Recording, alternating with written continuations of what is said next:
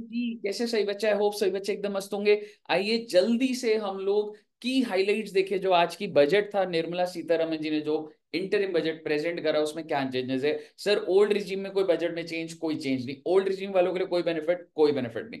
लेकिन जो new regime है 115 बीएससी उसके स्लैब में चेंज है बच्चे। क्या चेंजेस है? Zero to three lakhs nil होता था, पहले भी होता था। अब वो नेक्स्ट जो स्लैब है, वो थ्री टू सेवन लैक्स मैं अमेंडेड बात कर रहा हूँ आपके साथ। Zero to three lakhs nil 3 to 7 lakh 5%, then 7 to 10 lakhs 10%, 10 to 12 lakh 15%, 12 to 15 lakhs 20% और 15 लाख से ऊपर तो आपका टैक्स लगेगा जी 30 परसेंट तो ये स्लैब रेट में चेंज है बेनिफिट दिया गया है न्यू रिजीम वाले को। ओल्ड के लिए नथिंग दूसरा 115 बीएससी न्यू रिजीम के लिए बेनिफिट स्टैंडर्ड डिडक्शन सैलरी के अंदर पचास हज़ार होती थी वो बढ़ के पचहत्तर हज़ार हो गई है।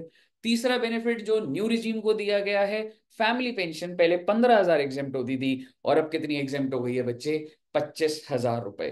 तो न्यू रिजीम के लिए गवर्नमेंट कहीं ना कहीं क्लियर इंटेंशन दे रही है ओल्ड रिजीम से बाहर निकलिए और न्यू रिजीम में आइए। पर मेरे हिसाब से ये कहीं ना कहीं लोगों को सही नहीं लग रहा है। क्यों? अगर मैंने बहुत सारी एलआईसी ले रखी है हेल्थ इंश्योरेंस ले रखी है तो वो तो लंबे प्लान तक चलती है।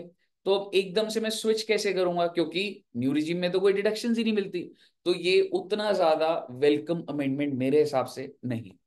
देन दूसरा, जैसा कि आपने देखा कि स्टॉक मार्केट के अंदर बहुत ही तेज़ी हुई है, लोगों ने प्रॉफिट्स कमाया है तो गवर्नमेंट भी बीच में आ गई है, लाओ भाई प्रॉफिट है तो हमें भी टैक्स दो।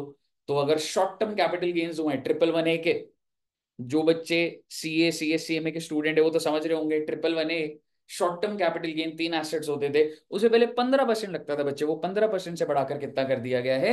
बीस परसेंट और लॉन्ग टर्म कैपिटल गेन वही ट्रिपल वन ए वाले तीन एसेट एक सौ बारह ए में लॉन्ग टर्म कैपिटल गेन में जाते थे। तो long term capital gain shares and securities पे पहले टेन परसेंट लगता था, जो बढ़ा के ट्वेल्व पॉइंट फाइव परसेंट कर दिया गया और यही नहीं जो एसटीटी होता है सिक्योरिटी ट्रांजेक्शन टैक्स वो पॉइंट ज़ीरो वन परसेंट होता था, उसको भी सरकार ने बढ़ा के पॉइंट ज़ीरो टू परसेंट कर दिया है। तो आपके कैपिटल गेन्स पे पूरी नज़र है और उस पर टैक्स कलेक्ट करा जाएगा।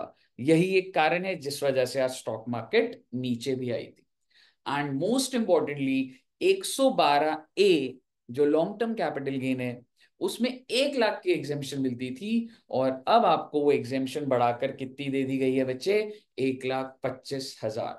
तो ये आपका मेजर मेजर हाइलाइट्स थी अमेंडमेंट की। इसके अलावा बहुत सारी और अमेंडमेंट्स आई हैं, लेकिन आई होप इतनी इंफॉर्मेशन आपके लिए बहुत ही हेल्पफुल रही होगी। Thank you very much